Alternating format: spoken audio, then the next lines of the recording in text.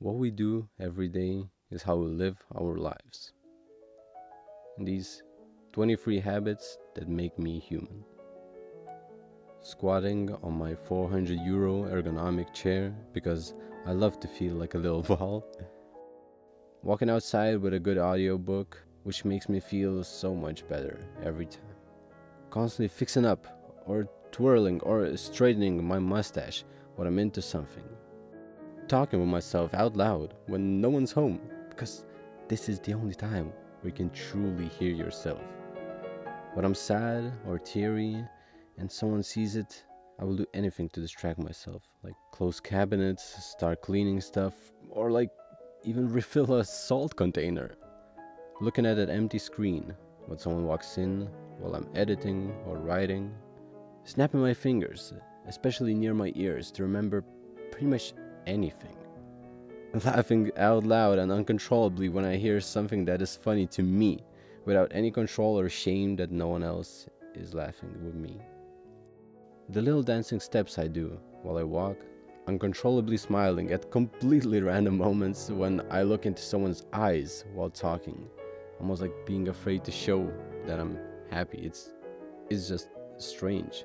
Scrolling my phone in the morning, unable to escape, the feeling of void. Becoming the most lonely and sad while I'm out with people having a so called good time.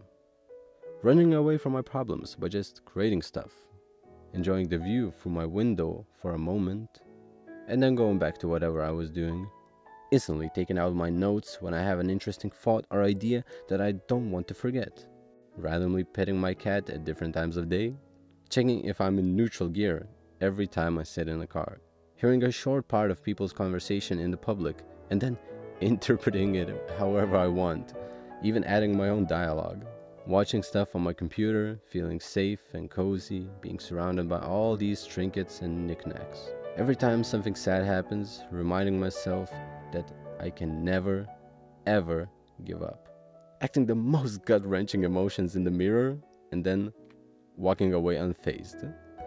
Every time I pick up a kitchen knife, I like to fake that I'm stabbing my stomach. Because I am normal. Hang out with my family members for those couple of minutes every day and then ignoring one another for hours. Hmm. That's kinda nice. With all this on the table, I feel maybe that I'm not as lonely.